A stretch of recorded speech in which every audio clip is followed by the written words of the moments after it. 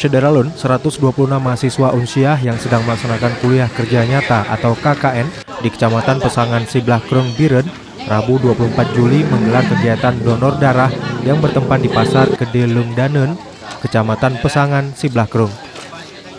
Hasil dari kegiatan itu mendapatkan 36 kantong darah yang kemudian diserahkan ke RSUD Biren.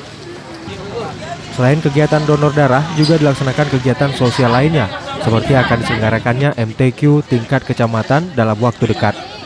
Terselenggaranya acara donor darah bersama masyarakat Pesangan Siblakrum yang dilaksanakan oleh mahasiswa KKN Usia Kecamatan Pesangan Siblakrum bekerjasama dengan pemuda Kampung Budanen dan PMI Biren. Dari Biren, Yusmandin Idris, Serambi On TV.